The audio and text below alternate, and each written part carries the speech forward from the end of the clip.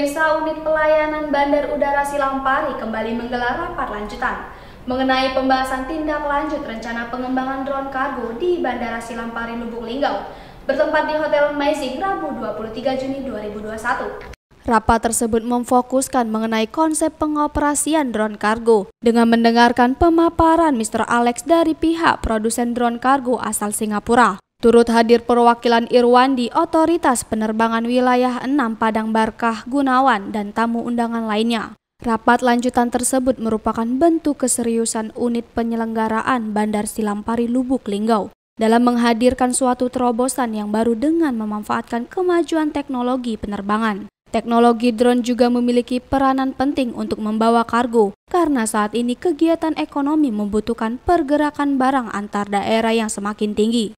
Kepala Unit Penyelenggaraan Bandar Udara Silampari, Mega Hardiansyah mengatakan, saat ini merupakan momentum yang tepat untuk merealisasikan terobosan baru tersebut, di mana kota Lubuk Linggau merupakan sektor jasa yang menjadi pusat perputaran ekonomi daerah di sekitarnya. Drone kargo sendiri merupakan alternatif jasa pengiriman terbaik dengan memangkas waktu lebih cepat dan resiko barang rusak lebih minim dikarenakan pengiriman barang melalui jalur udara.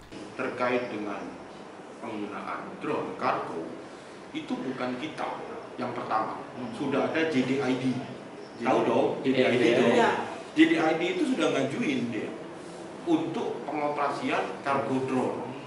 Cuman saya nggak tahu nih maksudnya kenapa kok sampai terhambat. Kemudian mungkin teman-teman juga dengar gitu Garuda ada wacana mau beli sekian drone gitu kan ya. yang dimanfaatkan untuk kargo saya juga nggak tahu kenapa kok tiba-tiba hilang beritanya. Gitu loh. Nah ya kami sih dari ngobrol-ngobrol santai itu ternyata apa ya nggak kita hidupin lagi gitu loh konsep drone kargo gitu loh. Hmm. toh kebetulan saya di saya di Lubuk Linggau dengan statement kota jasa gitu loh. Why not? Gitu loh. Kenapa nggak kita hidupin gitu loh? Toh sekelas Garuda, JDID itu sudah duluan gitu loh. Hmm. tapi tak terdengar lagi ceritanya. Kenapa nih? Mau apa nih? Ada apa nih gitu loh.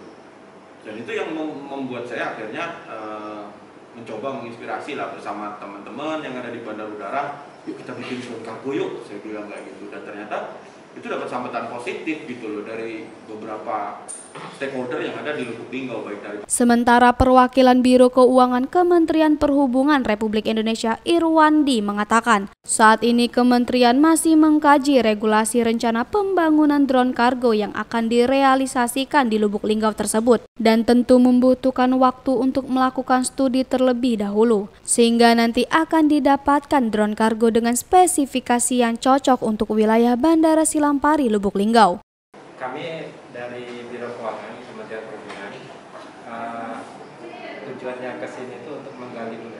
Jadi kami akan menggali dulu karena memang pertama itu terkait biaya logistik ya. Biaya logistiknya apa di Indonesia ini uh, sudah di apa dilakukan analisa itu terlalu tinggi ya bila dibanding dengan Singapura. Nah, sehingga untuk menekan biaya logistik ini maka dicarilah alternatif-alternatif terkait dengan uh, permasalahan logistik ini. Nah, kami mencontohkan juga uh, sekarang ini fokus kita tuh uh, lebih ke arah timur ya sebenarnya kan ke arah Papua, di mana kita tol laut dari tol laut kemudian uh, diangkut pakai truk menuju bandara, kemudian dari bandara itu disebar ke seluruh Papua, ya. seperti itu. Nah ini kemungkinan konsepnya itu hampir sama ya, hampir sama seperti yang dijalankan sekarang ini. Kemungkinan nanti kalau ini sudah apa, sudah bisa dijalankan, nanti uh, konsepnya itu mungkin bisa ya dari misal pelabuhan, pelabuhan di Bengkulu, hmm. ataupun nanti apa dari tempat-tempat yang seperti yang Pak Kabandar sampaikan tadi, itu nanti di Silampari menjadi center, center point ya. Dari Lubuk Linggau, Yuyung Anggara, Linggau Streaming melaporkan.